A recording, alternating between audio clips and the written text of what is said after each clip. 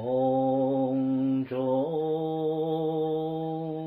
出口，好极高音。刚刚讲的那个祖师的公案里面，最后那一句那一句，就是五祖将鞋擦了迹啊，将鞋擦了迹。过去我常讲携者履也，就是行者心中的旅行旅见之一。但是今天把原文摆上来，讲到这个入不二时，入这个入不二处啊，入不二者，为什么将这个原文摆下来？你看那个鞋字，从格从两个土，土是什么？土是行者现在念念之间当下下手的行机。为什么是二土？二土就是一个是表神秀，就是表示你威德庄严的念念之间的时时勤拂拭。你要立念念之间懂得身如菩提树，心如明镜台。那你的身如菩提树要在哪里立？要在菩提本无上、本无树上立。心如明镜台，在哪里念念？懂得如明镜台，要在明镜亦非台上。亦非台就是打破一切你种种妄想执着。台上立，本来无一物，就是你时时勤拂拭处。时时勤拂拭，就是你本来无一物处。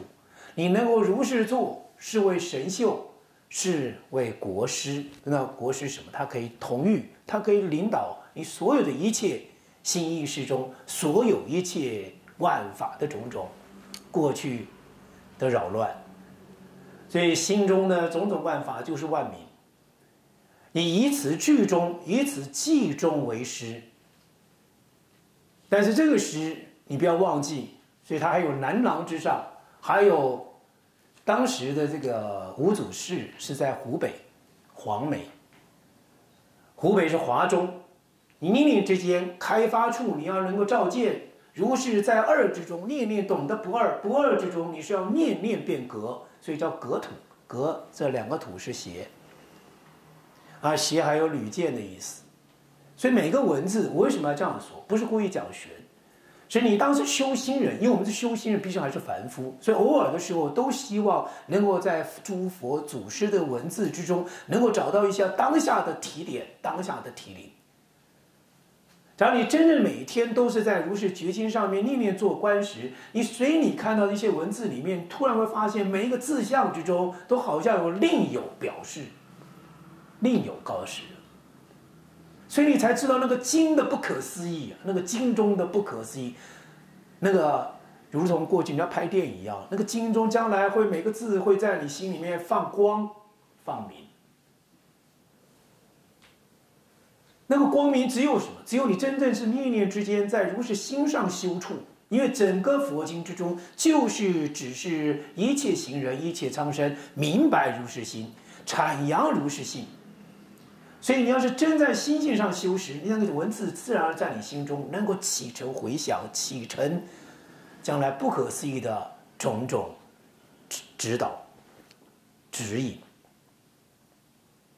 所以你看到那个邪处，你就知道五祖弘忍。弘忍中拿邪是什么意思？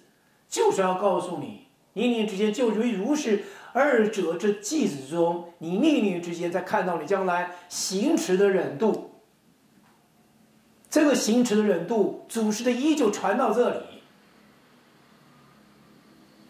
不能更传，不再更传，在更传时就是什么？就是多余，就是这一念心。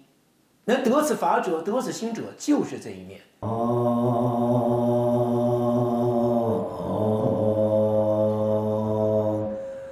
啊